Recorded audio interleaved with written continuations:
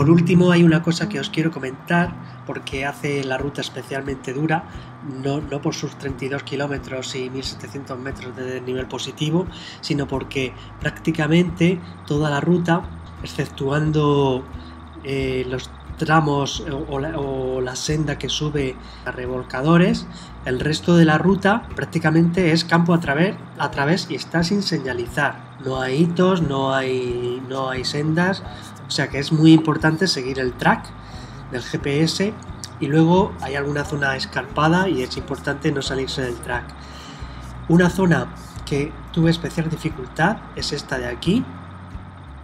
vemos que hay unos caseríos abandonados y en algún, en algún momento vemos señalización de GR, al parecer pasa un GR por aquí. Pues bien, aquí hay que cruzar este sembrado y al final del sembrado aquí hay un barranco y en este barranco está lleno de zarzas y, cardos y pinchos y vamos, me puse las piernas sangrando. Entonces, en lugar de echar por aquí, la mejor opción es cuando llegamos a un zoom, ¿vale? nos situamos, es aquí, aquí hay un caserío, pues una opción buena sería coger, tomar este, este camino, viene por aquí, salir a la senda y reengancharnos eh, ya con el track eh, propuesto por nuestros amigos, ¿vale? Pero ya os digo que tomar este sembrado y luego bajar por este barranco,